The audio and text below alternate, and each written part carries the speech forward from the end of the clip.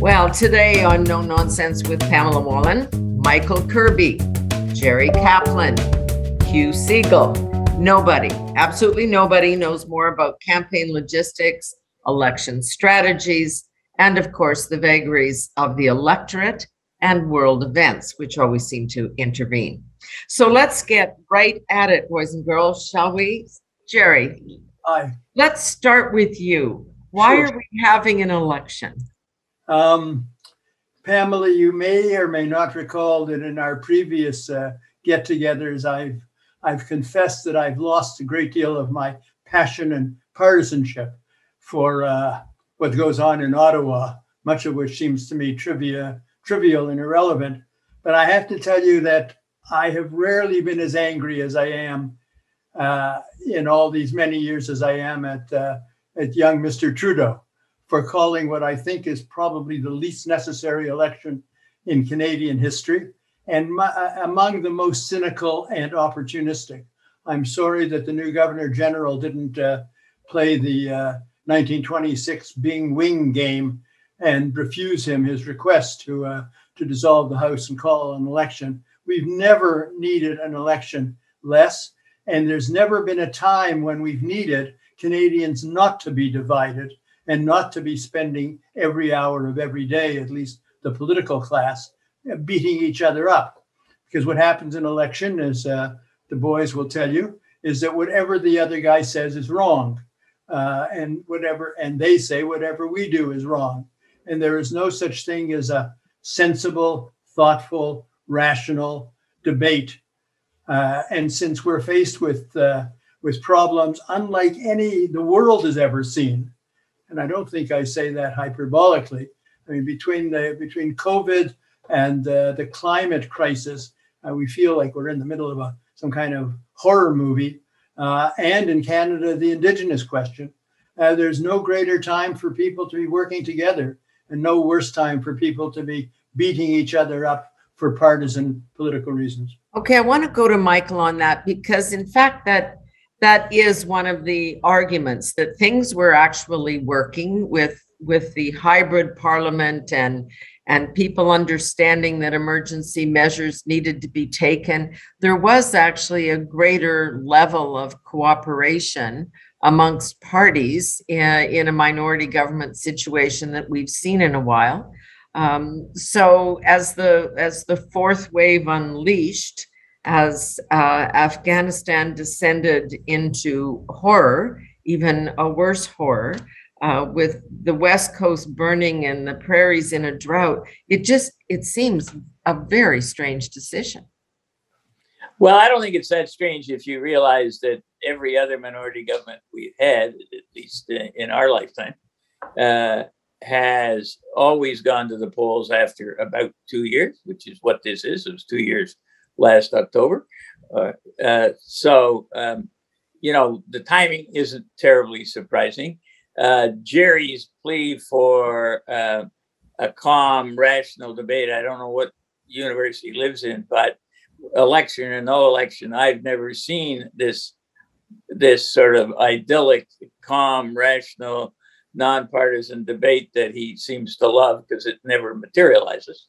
And I just think that at the end of two years, it was appropriate. We are, in spite of the fact that we do have a fourth wave, the reality is that the end of COVID is is on the clear horizon, and the question is, where do we go from here?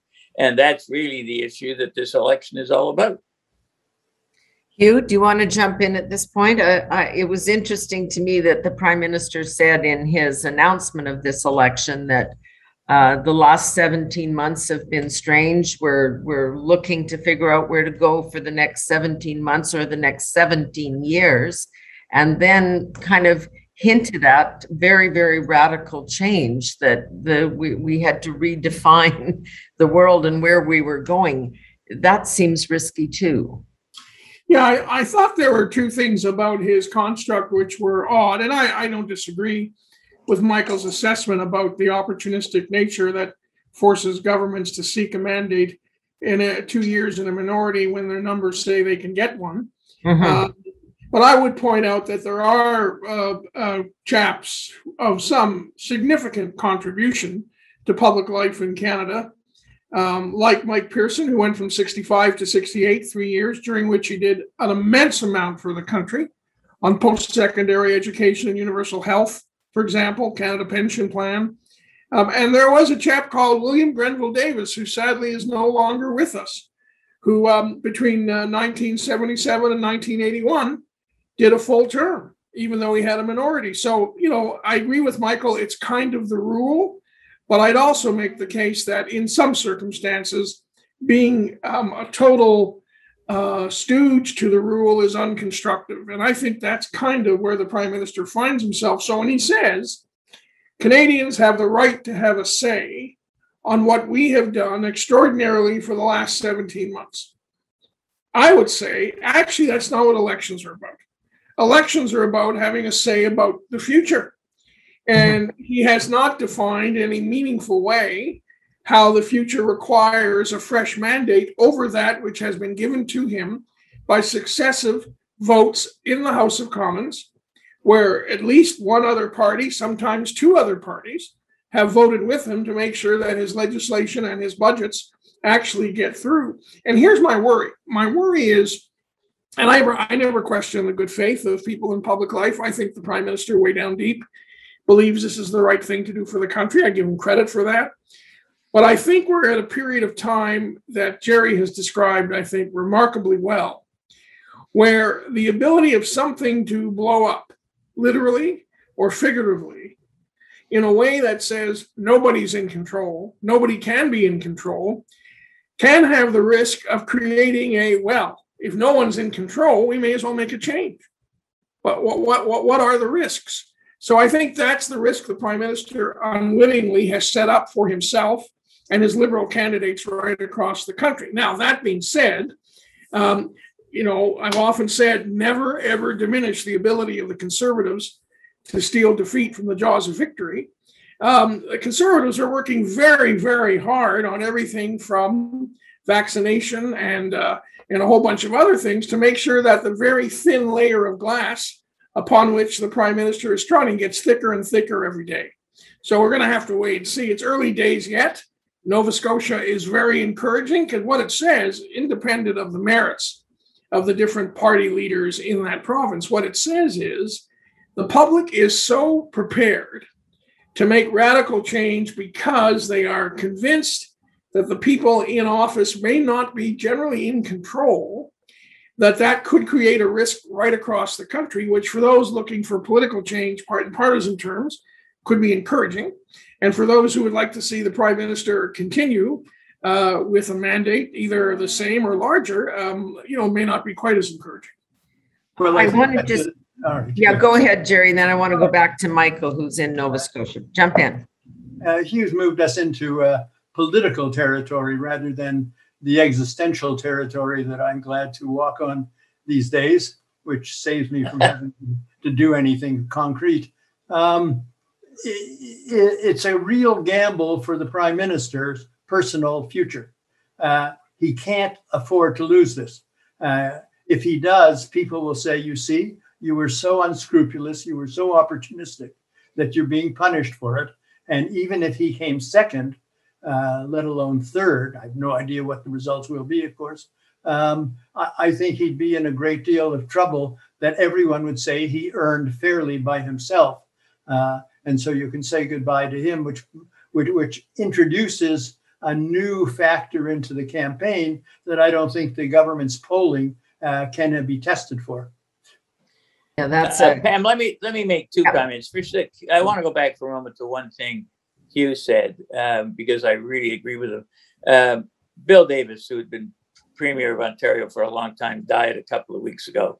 Yeah. Uh, longtime Conservative Premier Hugh was his chief of staff for quite a bit of time. And I just want to tell you that from my point of view, he was really one of the great Canadian statesmen of my lifetime. Uh, he always, always thought about the country as a whole, played very little partisan politics. And uh, I was somewhat disappointed by the media coverage, which really failed to note, uh, just because he'd been out of power for a long time, failed to note uh, what a tremendous contribution to Canadian life that he'd made. So I I really wanted to emphasize that. Uh, on this on the second point, of course, uh, Jerry's comments about what happens if uh, the Liberals lose the election. Well, the answer is very simple. Actually, they will change leaders. So I mean, uh, all of the angst that Jerry seems to worry about about uh, the prime minister ought to worry about what happens if he loses. He, everybody knows what happens when a prime minister loses. So uh, that's kind of a, a, a foregone conclusion. Um, as for all the other uh, problems that uh, that Jerry raised, I think he raised Afghanistan and a couple of other things. That was Pamela. Uh, no, I think you did, Jerry. But anyway, the, a lot of uh, a lot of those problems are going to arise during or kinds of problems, uh, unbeknownst at the start of a campaign, are going to arise, uh, and you have to go through that and just uh, see what happens. Can I be I will- sentimental for a second? Uh, sorry, Pam. I just want to say that Bill Davis's contribution to me was the introduction of Hugh Segal. Uh, that's where we met. I don't know if you remember one Yep. day in the lobby of Queens Park when you became when you were starting to work for him, and I was doing some work for uh, Fidel Castro. Uh, sorry, Stephen Lewis. That, that's when we first met. So that's what I owe to Bill Davis. There's, I, I, I actually want to come back to that a little later if I can, the, the generational changes that we're seeing and, and what has happened to partisan politics, which has become so partisan. In fairness, I did uh, raise Afghanistan, and you all know I feel very careful, uh, very uh, serious about this issue. I've traveled there many times, and I think we're in a in a very, very delicate and troubling situation. So I will come to that in a moment, but but really to Mike on the question, there you are in Nova Scotia. This is the first time that a provincial government has fallen, been replaced in the course of this pandemic. Uh, and it seemed to center on, as it often does in elections, a symbolic uh, scene. We remember the Syrian boy on the uh, beaches that kind of changed people's thinking. This is uh, a, a, a man dying in a wheelchair in the hallway of a hospital, and the issue on which the conservatives was focused uh, were focused was healthcare. Um, so it does. I mean, this is these these are these pivotal issues that occur. Is it something larger than that, though? Uh, no, I actually don't think it is. With one one point you have to note though, the premier had only been premier for a matter of months. Mhm. The the premier that had won the last two big majorities uh, resigned. I mean, retired, I guess correctly. Uh, he was he was replaced by a new leader, new premier, uh, who made the mistake of going to the polls, uh, calling an election very quickly because he'd seen that every other premier who had called an election during COVID had won, but all those premiers that were simply seeking a second or third mandate, they were not uh, seeking their first mandate, which is what he was. Secondly, he ran an abysmally bad campaign, uh, made all kinds of mistakes. Uh, I don't know who was running the campaign, but uh, they should never be allowed to do it again. Uh, and third, uh, it was not the, the, the party itself had been in power for 16 years, or been 16 years to be correct, since the Conservatives had been in power. Um, and you know, I uh, was saying earlier that it was uh, 16, it was 51 years ago uh, that the same thing happened in Nova Scotia, only in the reverse order. The Liberals began with four seats. Uh, the Conservatives had 42, and the Liberals still won the, the election to the total and complete shock of everybody. So I think you had a novice premier, no track record of his own, only the track record of the predecessor. The predecessor wasn't running. And by the way, 11 of the previous members weren't running either. Mhm. So it was not as if you could push your team because most of the previous cabinet had just were simply not running again. Um, and the Tories ran a brilliant campaign by focusing on the one issue that historically in Nova Scotia has uh, mobilized everybody, and that was healthcare. And they focused on it with a very singular minded focus. So they ran a, uh, they were brilliant, and the Liberals, frankly, were abysmal.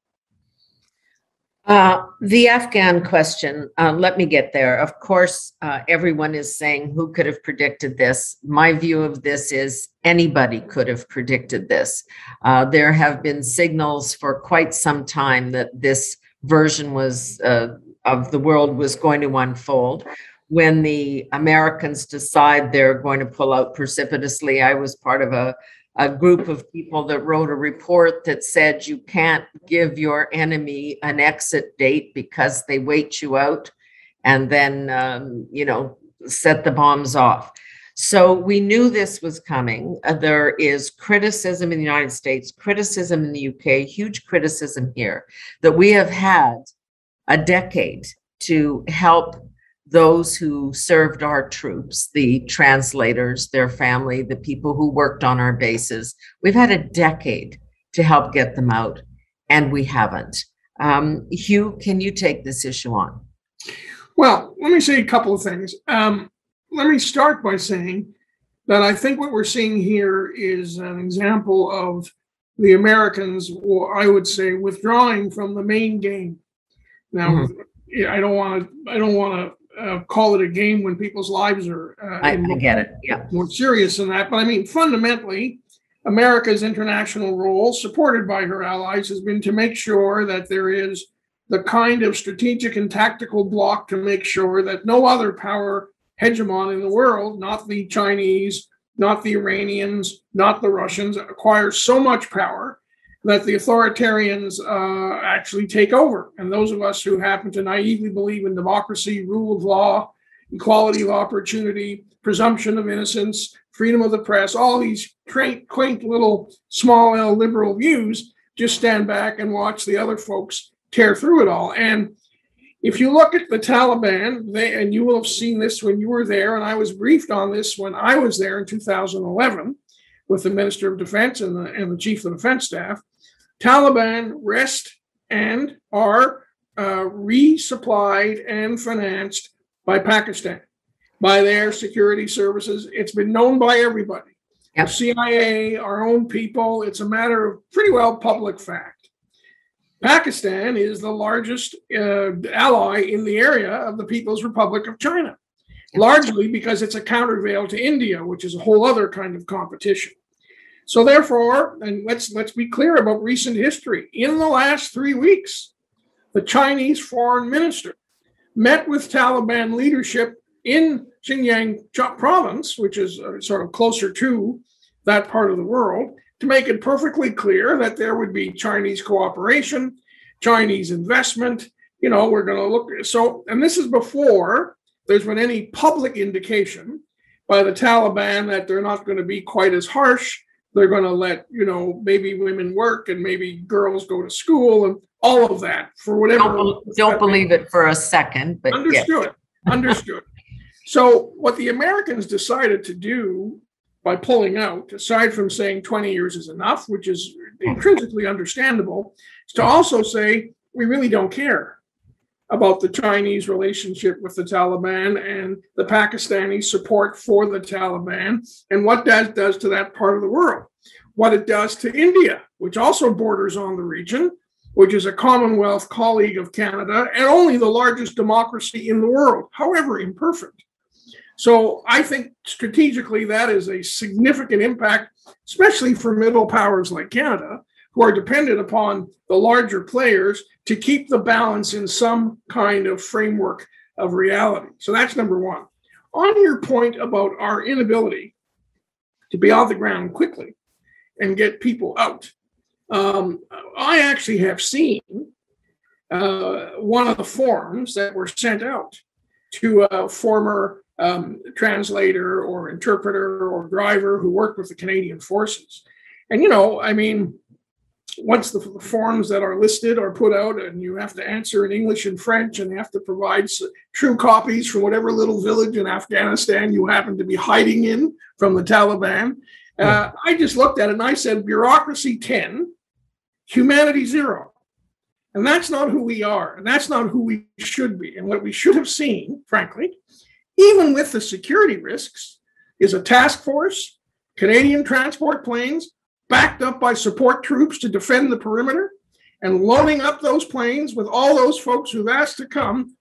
You may stop in Cyprus and some other place to sort out who has all the right paperwork. But Right. rule number one, get them out, get them safe.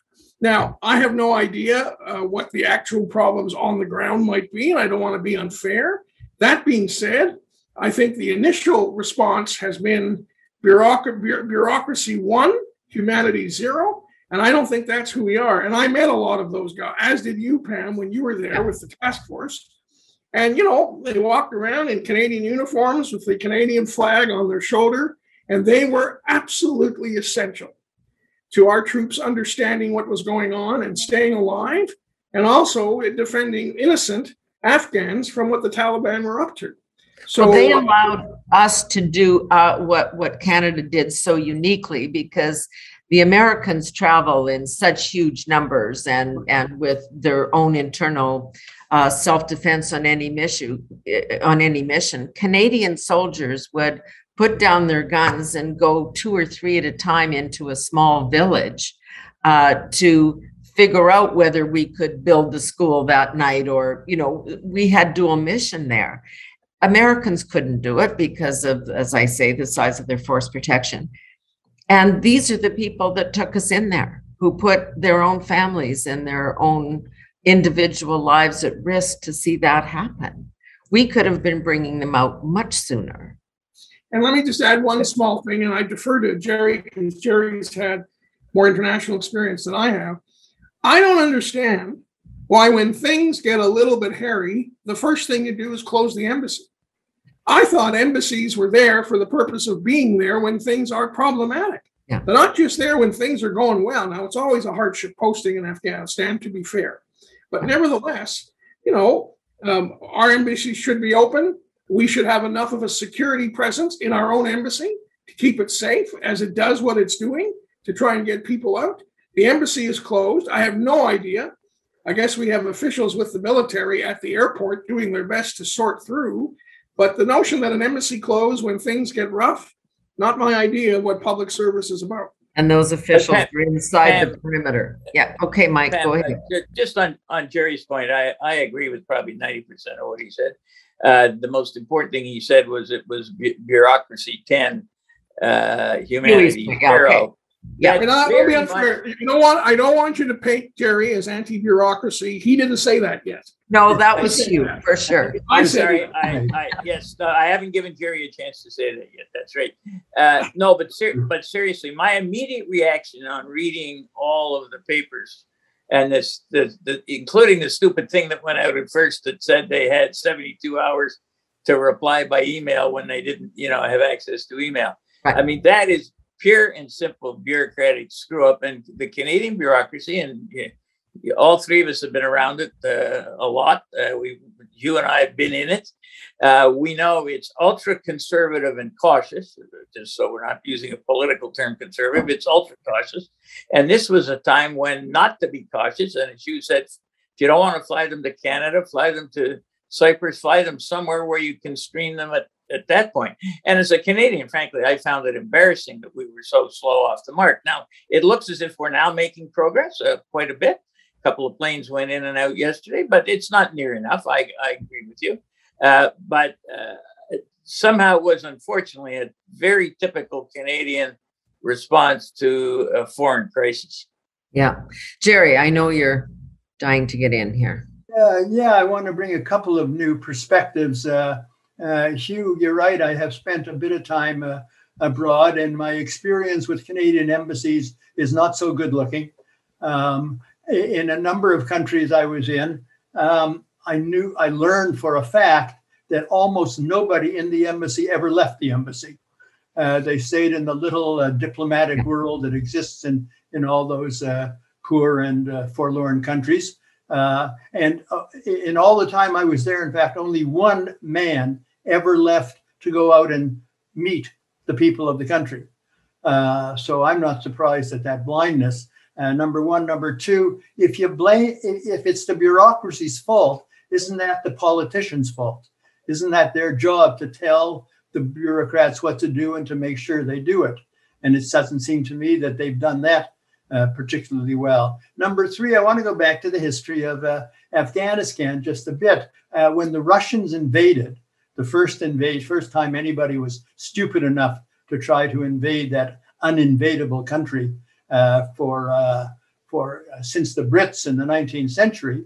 Um, the what the Americans immediately did was start was start arming Russians' enemies. Russia's enemies became the Taliban.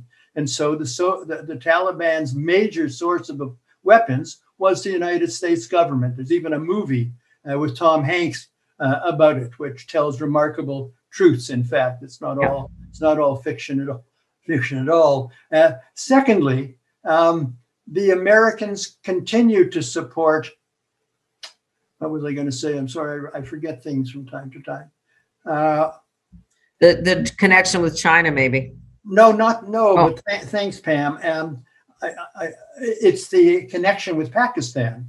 Ah, uh, okay. Pakistan has remained you, as you know, uh, one of uh, America's key allies as it continues to try to balance the Indian Pakistani uh, problem. Uh, but in the process, it validates or legitimizes or makes it easier for Pakistan to use what is probably often American weapons to support the Taliban. So every time you turn around, the Americans are in the middle of terrible things happening. Uh, and as you said, Pam, what, when they do go into a village, they cause mayhem and uh, and uh, destruction uh, a good deal of the time. So they've earned the uh, the unpopularity in the sense that they are not they are not to be trusted. Um, but I say this for Joe Biden's decision.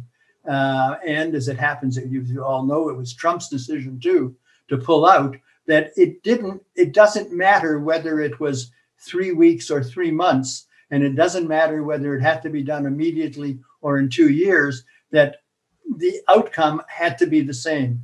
That what we see from this um, this astonishing disintegration of the uh, so-called uh, uh, Kabul government uh, was that uh, was that uh, it, it was virtually inevitable that the that the facade of government was so thin and so fraudulent that whenever the Americans pulled out, now in six weeks and two years, uh, the country was going to. Uh, yeah, I agree with that. I think all people were saying is if you know this is coming, it's inevitable. Do the planning in advance uh, get your civilians out, get get those people who you've already verified, because if they've been your translator or driver, you've already vetted them, but and they could have come at any time. And their family, American, yeah. and their families. What we know from the American presence in uh, both in Vietnam, uh, uh later in um, later in, in Afghanistan, in, in Iran, is that they never stopped to learn anything right. about local customs or local culture, and they don't know how they're the people Agreed. are react. Agreed.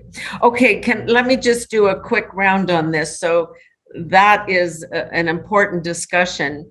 Is it going to influence voters in this country? Does it go to that question about who we are and who we think we are, and we should be doing the right thing? It is not um, going to in, influence voters at all. If historically, foreign issues don't impact the Canadian election unless they involve the United States, because most Canadians don't think of the United States really as a foreign issue. It's it's a U.S. issue, right? But I've never seen in my time around a case where a foreign issue had any significant, even any little impact on Canadian federal elections. Hugh?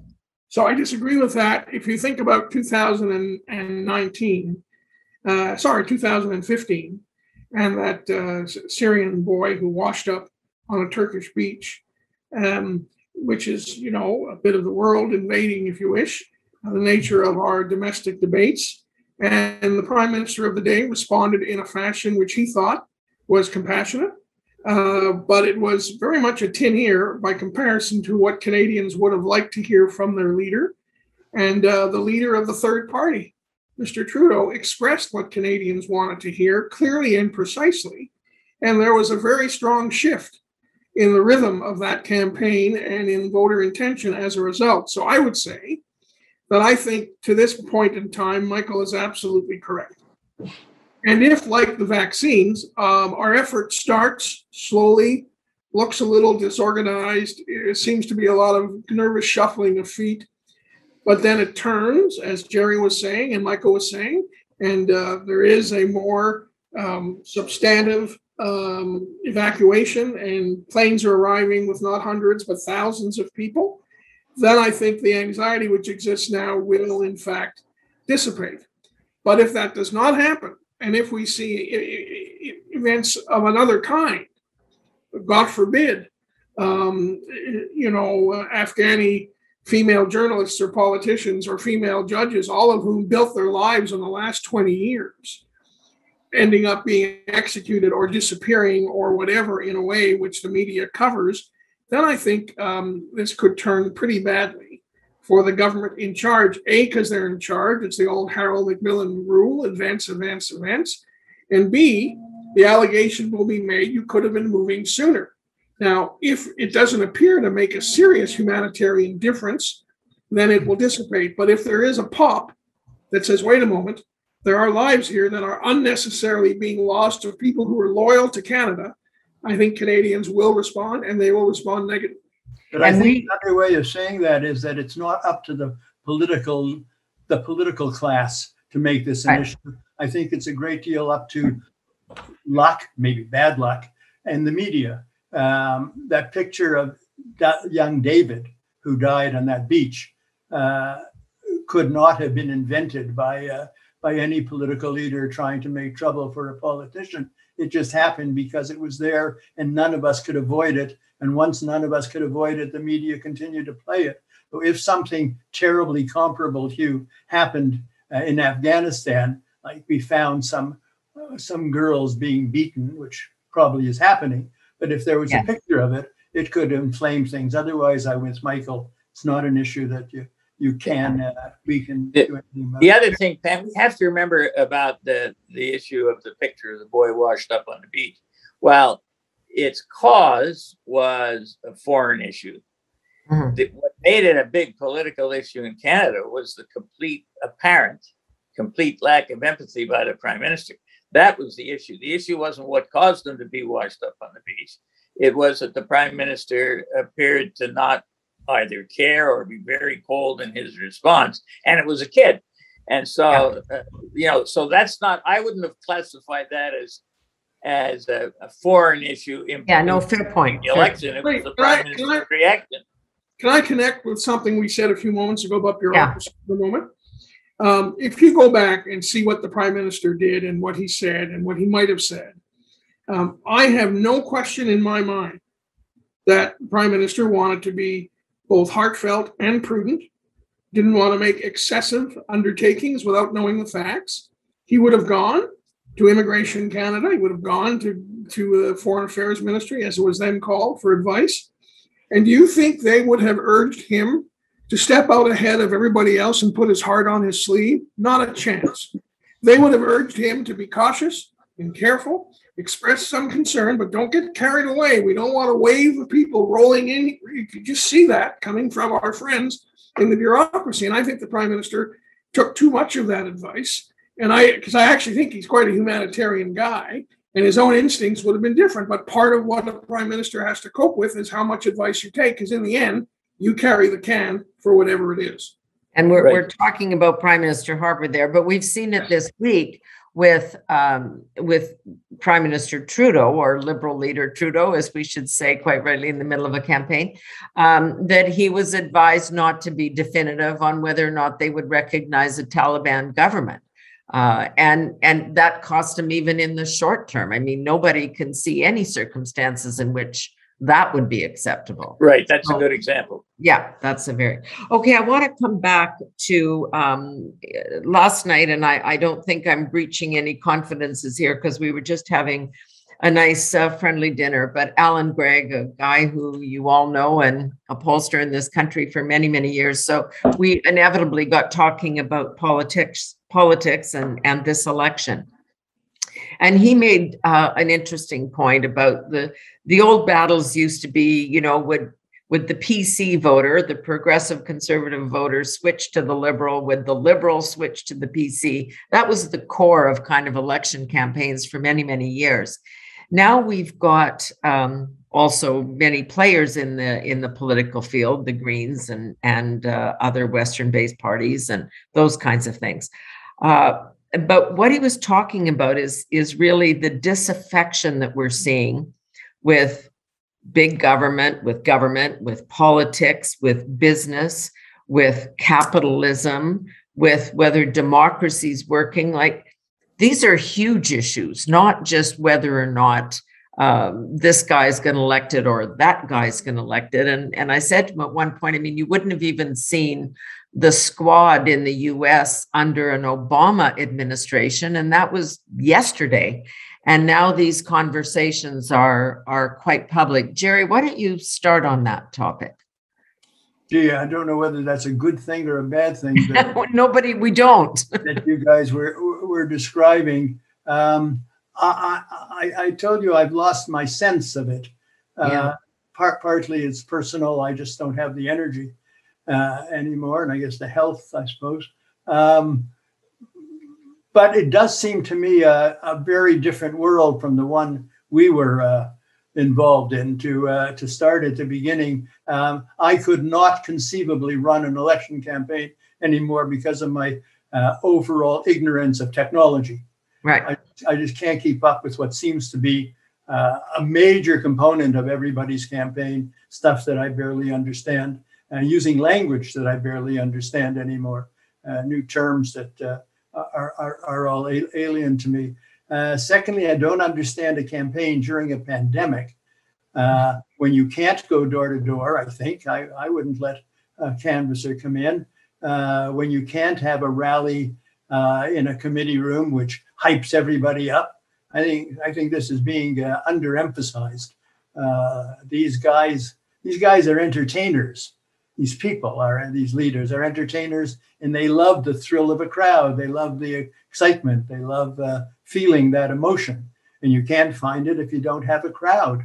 Uh, and they're not. And I hope they don't have crowds. I'd be really angry if they did. It would be dangerous for all of us. As for your larger semi-ideological issues, gosh, I, I, I don't uh, know what to think. I, I, the United States seems a completely foreign something to me.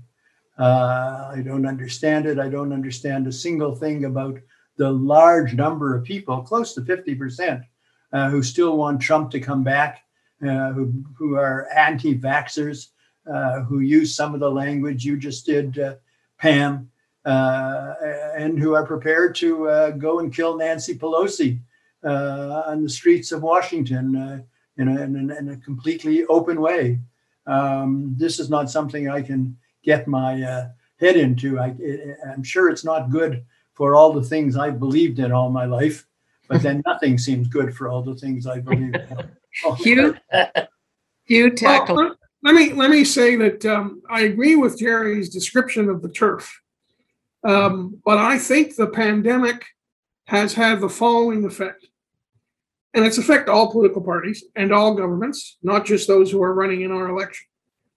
Um, it has raised the core question of whether the nature of the problems we now face, whether they're biological, whether they're about climate change, uh, whether they're about the collapse of alliances around the world, uh, whether uh, they are about um, finding uh, hundreds of uh, Indian uh, children's graves.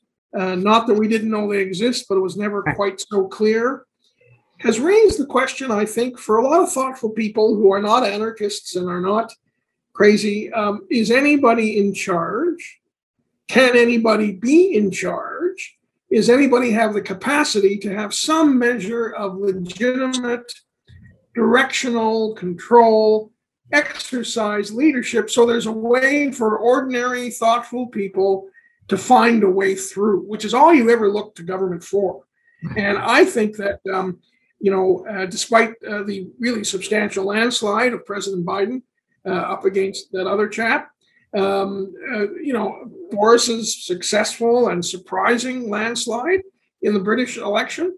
There's now a view in a lot of the what I would call the liberal democratic world that it's not clear if anybody is in charge or can be in charge. So that produces a very what I would call loose dynamic around elections, both about their relevance and about what people are saying as their answer to taking the country ahead in this direction or that direction, as the case may be.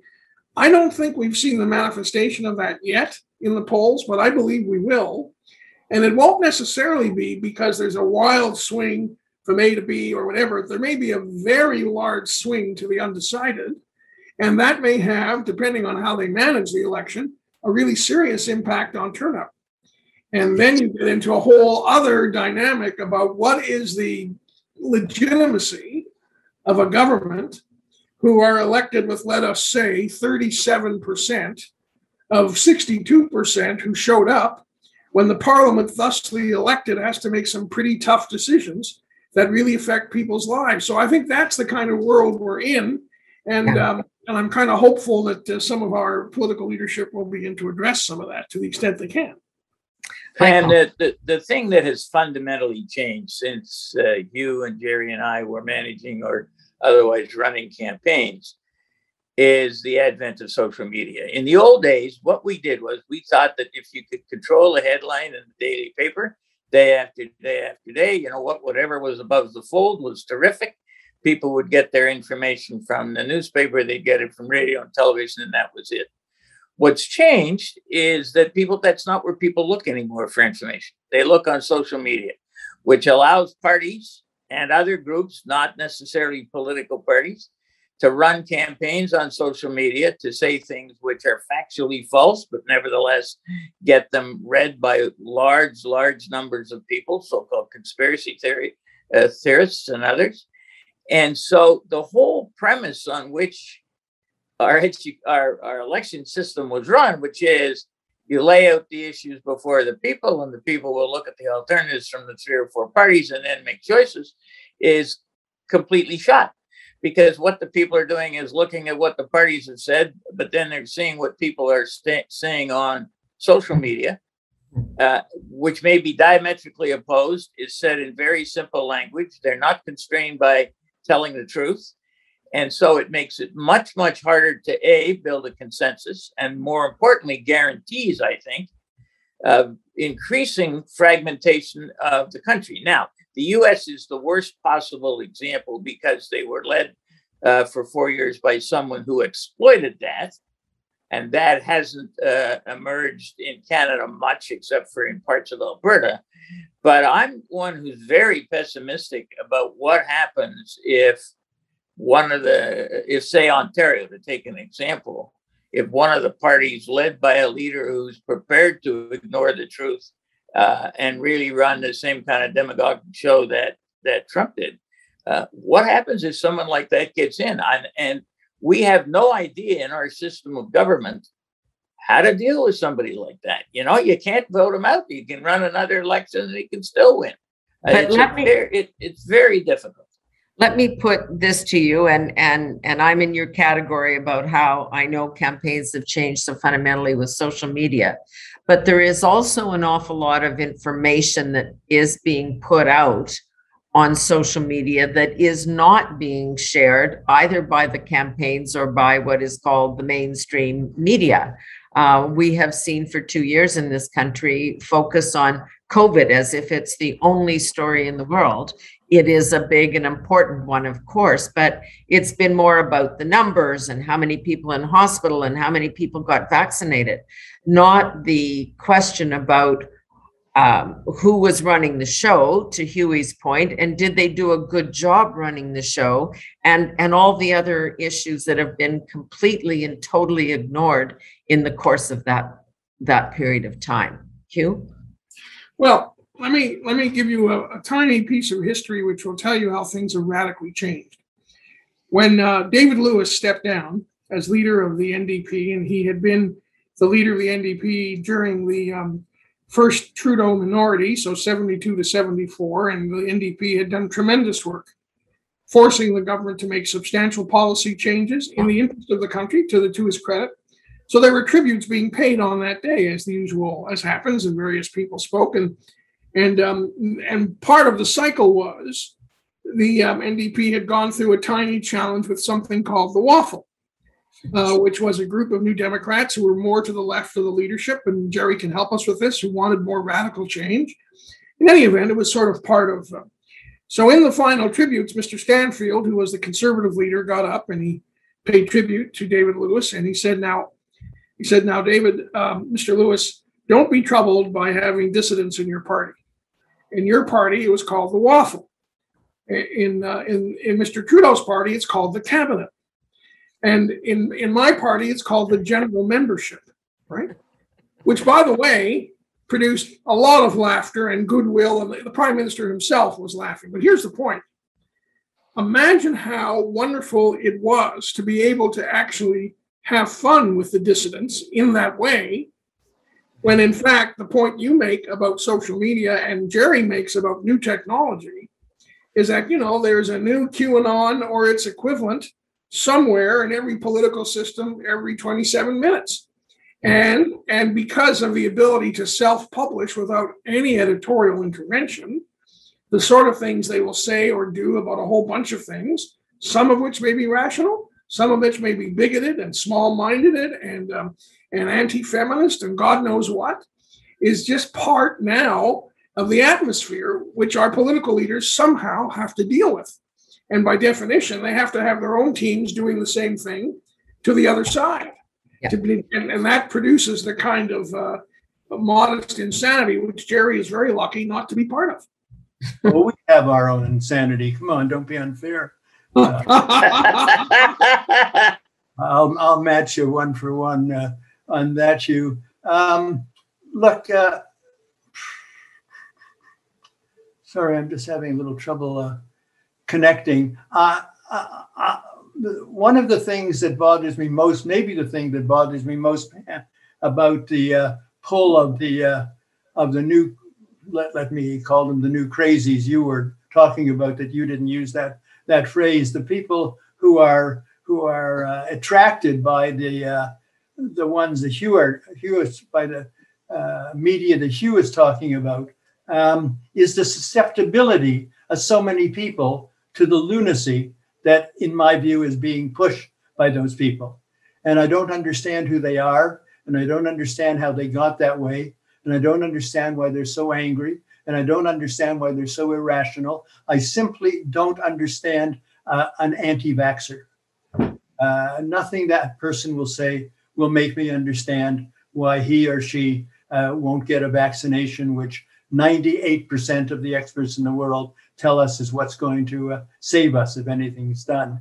Uh, and that makes me deeply pessimistic, and everything that happens around me uh, reinforces that, uh, that, that pessimism. From that point of view, Afghanistan is just another thing that's happening.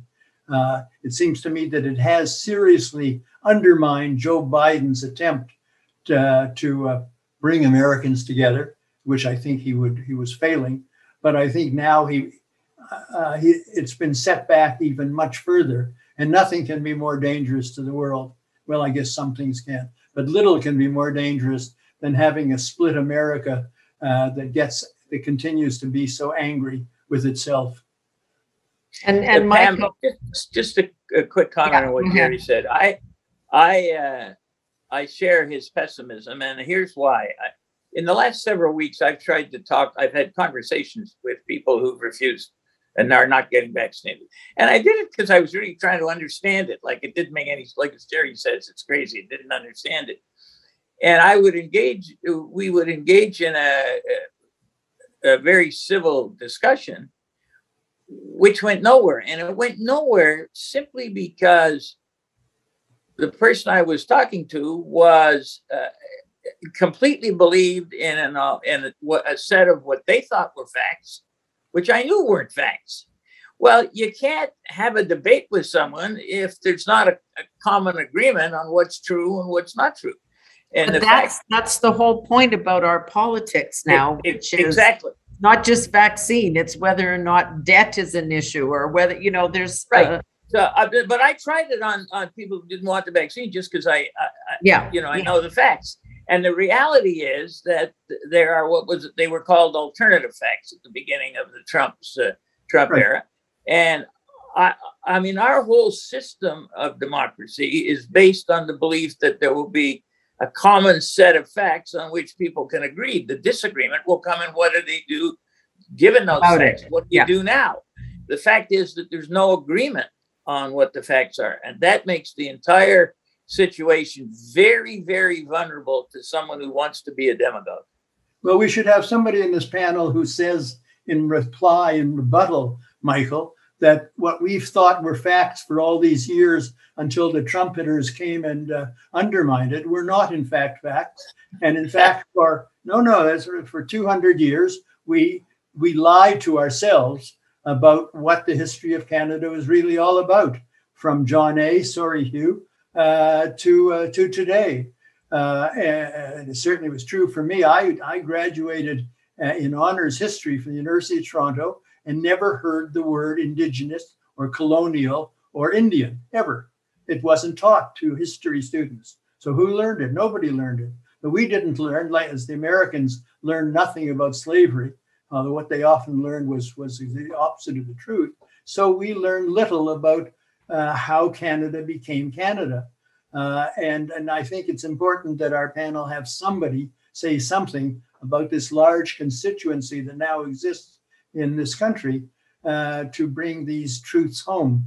Uh, but it also, at the same time, deeply complicates, deeply complicates the uh, the Yeah. uh, political fight. And Hugh, I will give you the final word on this, which is, I mean, we can talk about alternative facts or, or all of that, but people do have very different sets of truths about how they live. We've talked about in the past, the rural urban view of the world, the male female view, you know, there just are different experiences. Well, and I, and I take Jerry's point as both uh, accurate and well made. Um, and I let me say this though. When you hear people use the expression, and you hear them on the right, on the left, you hear them amongst our Indigenous brothers and sisters, you hear them about um, Black leaders in the United States who are fighting racism, it's time for you to hear my truth, right? And it's a legitimate expression, and it's it's a way of saying whatever you heard in the past, my truth actually counts and I want you to listen to it because it's important. And that's the polite way to put it. Sometimes it's not put even that politely. Right. The nature of a society is not that you pick one truth or that you use one truth to beat everybody else's truth up. You have to find a way where there's common ground between those truths to build together for the future. I mean, you know. I grew up I grew up in a home where if my mother bought me two sweaters and I came down the stairs wearing the red one, she'd say you didn't like the blue one. So I understand guilt. I know how that works, but you cannot build a society on guilt. And we are now awash, left, right, and center, indigenous, non-indigenous, a lot of people who are purveyors of guilt and Yeah. promoters of guilt. And guilt is not a solution to anything. It may Yeah. be a precondition to understanding, to make Yes. Jerry's point for a moment, but it is not a way to move forward. And we need leadership in this country to start saying that. Ex- Gentlemen. Exactly. Yeah, thank you so, so much. Uh, we will come back one more time before voting day if you all should agree.